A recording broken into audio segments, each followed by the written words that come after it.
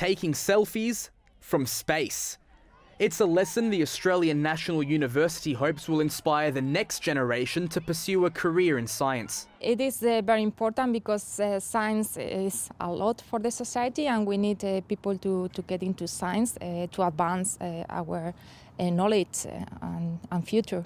These kids didn't need much encouragement. Satellites go world and only artificial ones take pictures. They use satellites to look at, you know, Mount Everest and the height of that and yeah. measure things. This primary school is using the photo op to celebrate its 50th anniversary and to give students something to look forward to in a tough year. With everything that's been happening, it's been really difficult to do some things that the children will really enjoy and let them celebrate our 50th.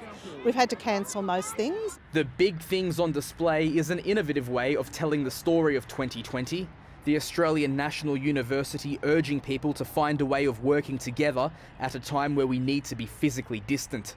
The Science Academy highlighting the importance of its sector in the fight against COVID 19, and the School of Art expressing its support for the Black Lives Matter movement. National institutions across Canberra also got involved. The Australian War Memorial creating a giant poppy, while the National Museum and Museum of Australian Democracy spread a message of love. And even the ABC got in on the action.